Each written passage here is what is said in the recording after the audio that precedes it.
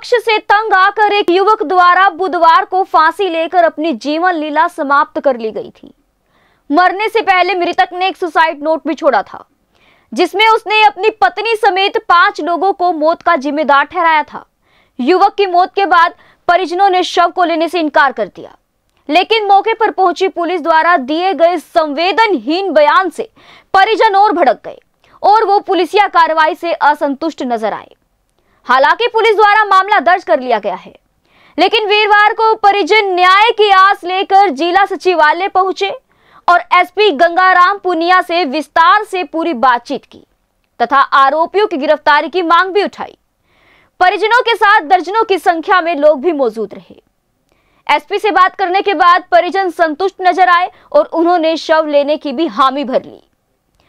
परिजनों का कहना है कि वह पुलिस कप्तान के आश्वासन से संतुष्ट है लेकिन आरोपियों की गिरफ्तारी शीघ्र होनी चाहिए ताकि ऐसे वाक्य और किसी के घर में ना घटित हो। हाँ जी दोस्तों मैं हूँ तरुण मैदान और इस समय आप समाचार एक्सपर्ट देख रहे हैं। मैं अभी एक बुज़ुर्ग से से आपकी बात करवाना चाहूँगा। सर आज आप यहाँ एस साहब से मिलने हैं आखिर क्या मामला है? साहब से मिलने आए थे जी। मेरे लड़के ने कल सुसाइड किया था। उसमें पाँच बंदों के नाम थे लिखवाए थे। अब तक उनकी अरेस्टिंग नहीं हुई है। इस पर्पज साहब के पास आए थे। साहब ने क्या आश्वासन दिया? साहब ने आश्वासन दिया है उनको जल्द से जल्द कार्रवाई करेंगे। आपके बेटे को ऐसा कदम सख्त कदम क्यों उठाना पड़ा? वो उनसे परेशान था वो धमकिया देते थे। चालीस लाख रुपए मांगते थे ये फैसला करेंगे। दहेज के और डीवी एक्ट ये सारे खर्चे वो म- मुकदमे जूठे लगा रखे थे हमारे। क्या ये मामला कोर्ट में विचाराधीन था कोर्ट में बेचारा दिन है ये चार साल से। ये मनमुटाव कब से चल रहा था पति पत्नी के बीच में? ये तो वो रुद्रपुर रहती थी बहू भी और लड़का भी। लड़का मेरा ड्यूटी पे चला गया वो सारा समाज समेट के साल के बाद वहाँ से आ गई बिना बताए। शादी कब हुई थी शादी हुई थी तीन पाँच दो हज़ार पंद्रह को। बच्चा भी है? बच्चा तो मना करी थी मैं तेरे नाम का बच्चा नहीं जमूँगी मैं ते भाई मैं जिसके साथ मेरा शादी कराना चाहती थी मैं उसके साथ मेरे माँ बाप ने कर, नहीं करी। मैं तेरे नाम का बच्चा नहीं जमूँगी आपके बेटे ने सुसाइड नोट में किनका किनका नाम लिया? मेरे बेटे ने अपनी पत्नी का अपने ससुर का और जो इसका चाचा लगता है अजय वर्मा जिसके खिलाफ चार साल पहले भी चार पाँच साल पहले भी तीन सौ छः का मुकदमा दायर हुआ था। है जी? और उसकी पत्नी समा अजय अजय वर्मा की पत्नी समा और अजय के फादर धर्मपाल और एक जो करनाल में प्रधान राजकुमार है, वो वो भी उन्हीं के साथ मिला हुआ था। तो इन छह बंदों से परेशान होकर के मेरे लड़के ने सुसाइड किया। एसपी ने आश्वासन दिया कि जल्द से जल्द कार्रवाई करेंगे। हम संतुष्ट है ये एसपी साहब के आश्वासन से हम संतुष्ट हैं। आप क्या लगते थे मृतक के? भाभी हूँ मैं। आप उनके भाभी हैं। आप क्या कहना चाहेंगे? मैं यही कहना चाहूँगी कि एसपी साहब ने आश्वासन दिया है कि कार्रवाई होगी और निष्पक्ष जाँच होगी पूरे मामले की तो हम उन पे विश्वास करके हम अब यहाँ से जा रहे हैं। बहुत विश्वास करते हैं और उनके अकॉर्डिंग चार पाँच दिन में कार्रवाई हो जाएगी तो हम यही आशा रखते हैं कि सब कुछ हो जाए और वो लड़की और वो सबकी गिरफ्तारी हो जाए ताकि आज हमारा लड़का गया कल किसी और का ना जाए। किस तरह का मानसिक और शारीरिक दबाव वो बनाते थे आपके देवर के मेरे जेठ थे वो। मानसिक दबाव तो ये था कि हमें पैसे दो पैसे के बिना हम फैसला नहीं करेंगे और अगर पैसे नहीं देते तो दस साल भी चला के रखो दस साल भी चलेगा केस। तो ये ये दस साल ये दस साल की बात से उनको लगा कि मेरी ज़िंदगी तो ख़त्म हो गई। शादी को कितने साल हो गए थे? 2015 में शादी हुई थी उनकी। तो एसपी साहब ने बोला है निष्पक्ष कार्रवाई की जाएगी और वो की जाएगी। मैं आपको ये दिखाना चाहूँगा देखिए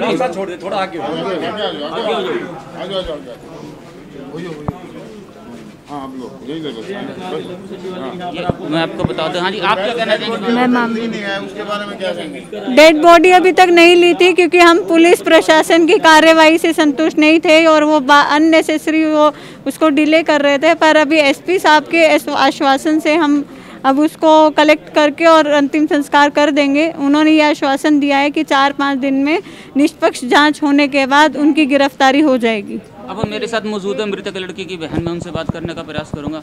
मैम आप क्या कहना चाहेंगे मैं तो यही कहना चाहती हूँ जो भी मेरे भाई के आरोपी है जल्दी से जल्दी गिरफ़्तार करो।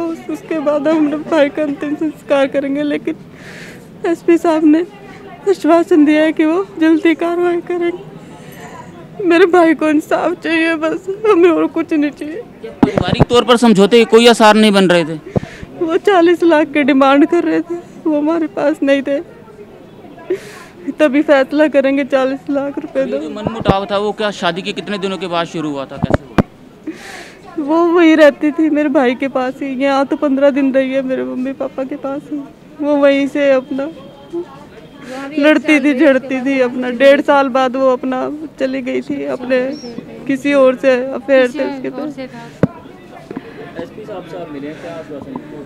वो कह रहे हैं हम जल्दी कार्रवाई करेंगे।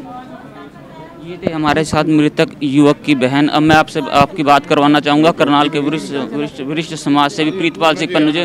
पन्नू जी वहीं दो मिनट चले जाओ उनके पास ही। पन्नू जी ऐसी घटनाओं के बारे में ऐसे वाक्यों के बारे में आप क्या कहना चाहेंगे? आप एक सुलझे हुए और बड़े ही वरिष्ठ समाज सेवी हैं। आपने कई मसलों को सुलझाने देखिए भी तरन जी क्या है कि ये देखो करनाल में अगर आप देखेंगे तो पिछले 10-15 दिन के अंदर कई मामले सुसाइड के आ चुके हैं।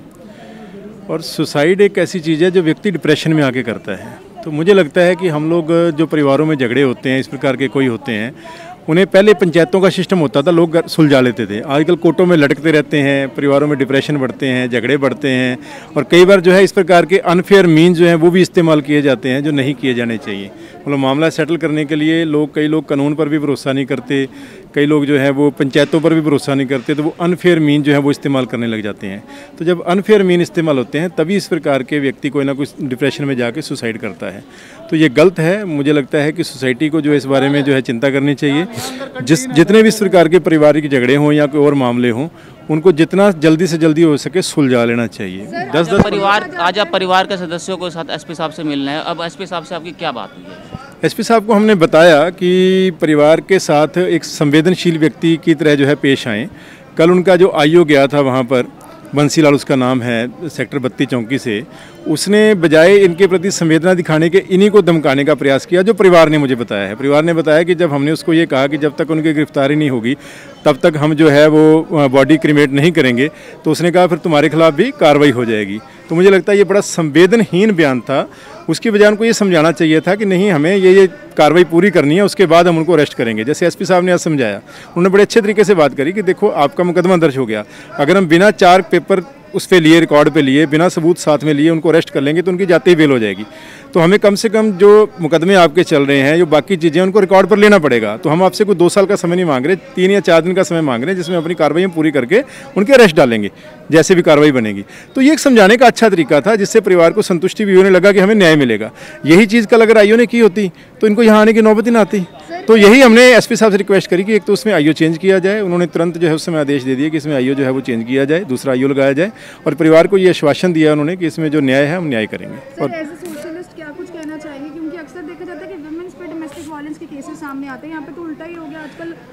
तो आजकल मतलब देखो- देखो। दो दो चीज़ें हैं। ये जो वीमेन सेंट्रिक जो लॉ आए हैं, उनका बेनिफिट भी है। कहीं ना कहीं एक डर पैदा होता है वुमेंस के खिलाफ क्राइम करते हुए, चाहे वो रेप की बातें हों, चाहे वो डॉरी हो। लेकिन कहीं ना कहीं इनका दुरुपयोग भी हो रहा है।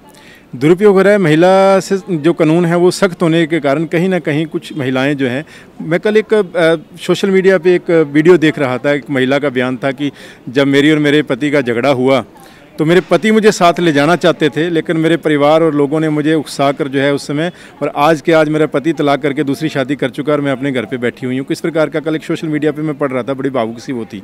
तो अक्सर जो परिवार पहले पंचायतों के अंदर होता था, पंचायतें प्रयास करती थी, दोनों को नज़दीक लाने का प्रयास करती थी। आजकल उल्टा हो गया आजकल जो नज़दीक वाले होते हैं, वो कोशिश करते हैं हीरो बनने के चक्कर में कि मैं उंगली कितनी लगा सकता हूँ, मैं इनको दूर कितना कर सकता हूँ। तो वो जो साथ वाले लोगों का व्यवहार होता है, वो परिवार बनाने के बजाय परिवार बिखेर देता है। तो मुझे लगता है कि एक तो इन कानूनों का दुरुपयोग नहीं होना चाहिए, दूसरा कम से कम जो पंचायत के लोग हैं, उनका ये फ़र्ज़ बनता है कि बिठाकर जो सच्चाई हो उस पर कार्रवाई करके नज़दीक लगाने का प्रयास करें और अगर नज़दीक नहीं लग सकते तो एक एमिकेबली तरीके से सोल्यूशन करके उनको अलग कर दिया जाए ताकि दुश्मनियाँ ना बढ़ें आपस में। लेकिन आजकल यही हो रहा है कि बीच में उंगली लगाने वाले मिल जाएँगे और उससे दुश्मनियाँ शुरू हो जाती हैं। तो एसपी साहब ने जो आश्वासन दिया उसके बाद परिवार कहीं ना कहीं संतुष्ट नज़र आ रहा है? संतुष्ट है क्योंकि एसपी साहब ने और डीएसपी राजीव थे उन्होंने जिस तरीके से बात रखी है उस बात को सभी ने महसूस किया है कि वाकई जो है इस केस को मज़बूत करना भी उतना ही ज़रूरी है। तो परिवार संतुष्ट है और परिवार ने कहा है कि हम क्रिमेशन करेंगे और एसपी साहब ने तीन या चार दिन का पाँच दिन का समय मांगा है और मैं भी उम्मीद करता हूँ कि परिवार को न्याय मिलेगा। दोस्तों मैं बता दूँ, इस समय मैं मौजूद हूँ करनाल के करनाल के मिनी सचिवालय। में आपको बता दूँ, कल एक युवक द्वारा, कल एक युवक द्वारा फांसी लेकर अपनी जीवन लीला समाप्त कर ली गई थी और उसने अपने ससुराल पक्ष के पाँच लोगों पर आत्महत्या का, अपने आत्महत्या का आरोप लगाया था। उसके बाद जब पुलिस वहाँ पहुँची तो संवेदनहीन बयान पुलिस द्वारा दिया गया। संवेदनहीन बयान पुलिस द्वारा दिया गया, जिसमें जब सर परिवार ने यह कह दिया कि जब तक आरोपियों की गिरफ्तारी नहीं होती, हम लोग डेड बॉडी को नहीं उठाएँगे तो जो आईओ था, आईओ के द्वारा यह बयान दिया गया कि अगर आप डेड बॉडी को नहीं उठाएँगे तो आपके साथ भी पुलिसिया कार्रवाई की जाएगी। इन सब अपने परिवार के न्याय के लिए और न्याय पाने के लिए आज परिवार के सदस्य एसपी गंगाराम पूनिया जी से मिलने के लिए पहुँचे, जहाँ उनसे, उनके आश्वासन के बाद अब वो डेड बॉडी लेने को भी तैयार हो गए। हमने परिवार के कई सदस्यों से बातचीत की और विश्व समाज विश्व समाज से भी प्रीतपाल सिंह पन्नू से भी बातचीत जो उनके परिवार के सदस्यों के साथ आए थे, जिन्होंने विस्तार से बताया किस तरह से, किस तरह से पहले और आज के समय में कितना फेर हो चुका है। पहले कहाँ पंचायतों के माध्यम से पारिवारिक मसलों को सुलझा लिया जाता था और लोग भी थे, वो लोगों को, जिनमें जिनमें भी मतभेद होता था, उनको नज़दीक लाने का प्रयास करते थे लेकिन आज कुछ लोग हीरो बनने के चक्कर में उंगली लगाने का काम करते हैं, जिससे वो परिवार नज़दीक होने की वजह और दूर होते जा रहे हैं और दुश्मनियाँ बढ़ती जा रही हैं। ऐसे लोगों से और ऐसे समाज से समाज से और ऐसे समाज के ऐसे लोगों से बचकर रहना चाहिए और जितना जहाँ तक हो सके अपने परिवार का मसला अपने परिवार में सुलझाएँ। मैं Tarun Maidan, senior camera person Sunny Chaudhary, Samachar Express के लिए धन्यवाद। ऐसे ही लेटेस्ट खबरें पाने के लिए बेल आइकन को क्लिक कर हमारे चैनल को लाइक, शेयर एंड सब्सक्राइब करें। धन्यवाद।